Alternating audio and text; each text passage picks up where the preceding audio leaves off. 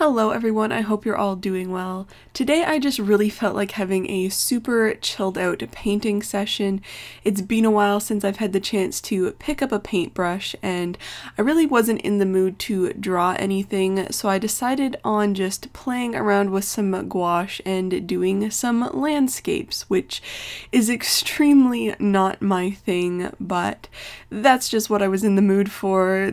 I decided to pull out my large set of Jelly Cup gouache just because there are so many colors in this. I wanted to try and keep these landscape studies to under an hour, so having a lot of colors to start out with was going to minimize the time that I was going to spend mixing different colors up and really get in that time painting instead. I've actually had some version of this video planned for pretty much nine months now at this point, and it's just never worked out until now, obviously.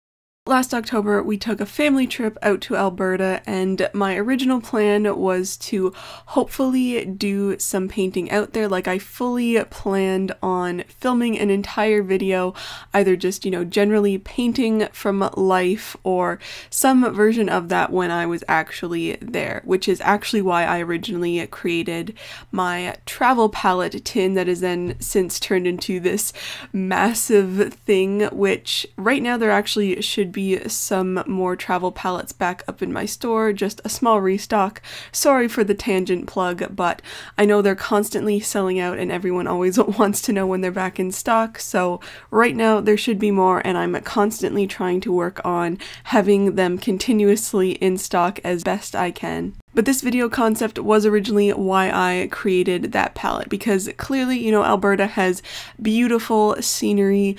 We knew that we were going up different mountains and just generally appreciating the scenery, so it was the perfect opportunity to possibly create some beautiful landscape paintings, which all of the pictures that I'm using for reference in this video I actually took at various points. I think the one that I'm working on right now I took when we were up Sulphur Mountain mountain. But anyway, I had this grand video idea planned out, which would have been a lot of fun, but there were a few little hiccups that clearly made me not able to create the video. The first one was we were there like a pretty early October, and I don't want to say unseasonable coldness, but there was definitely from like the local people, it seems a lot more snow than they were used to at that time of year, which made for beautiful photos. Like we had the full range of weather out there and it made for lovely photography, um, but not necessarily great uh, painting outside weather. And I also managed to catch half of the germs at uh, Pearson Airport, so I was sick for half of the time that I was out there as well, which, you know, is typical for little old immunocompromised me, but I really at that point just did not feel like painting whatsoever. Like the only thing I was surviving on was cold medicine to get me through just trying to enjoy the various activities we were doing. So since then, I have always planned on making up for the fact that I massively failed at doing any sort of painting of landscapes from that trip, and clearly it hadn't happened until right now. So I decided to pick three fairly mountain heavy reference photos from my group of pictures. I mean, I took hundreds of them, but I do have favorites. So I picked three more unique looking ones that had definite um, more different color schemes between the three of them. This one is a super cool picture I'm pretty sure I took of in from the back of the van that we were driving around. It was a great time. I mean like half of my family went out there so it was a super fun trip um, and I was driving everyone kind of insane that I could take these really cool looking pictures from the back of a van. Um, but yeah they did turn out awesome and obviously make really great reference photos. So I decided to pick three more mountain heavy landscapes to paint because I did want to keep these more as fast studies. I wasn't sure exactly how long I wanted to spend on each one. I just knew that I wanted to have them be a little more rough and a little more expressive, so I decided to just use flat brushes and just play around with the gouache really. So each of these ended up taking me no longer than an hour.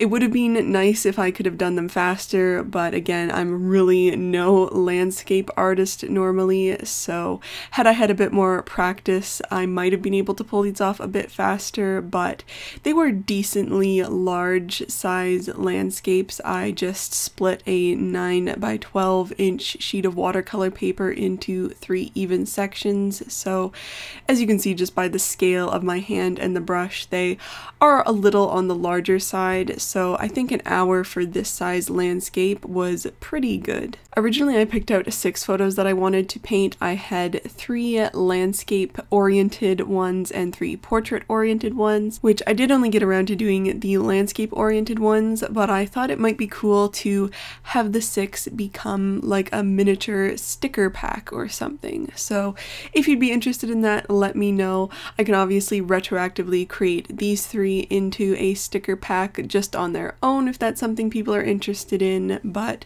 I do fully intend on probably also doing the portrait ones because those were definitely some of my favorite photos that I took as well, and they just weren't going to work as nicely if I had tried to translate them into a landscape orientation. I think that's about the only decent commentary that I have for this video, so I'm just going to let you enjoy the rest of this painting process with some music.